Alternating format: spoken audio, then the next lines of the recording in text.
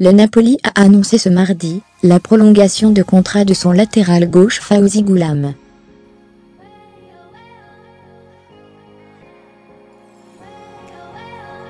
L'Algérien est désormais lié au club jusqu'en 2022. Une belle preuve de confiance de la part du club napolitain, puisque le joueur de 26 ans, victime d'une rupture des ligaments croisés du genou droit début novembre, est blessé pour de longs mois.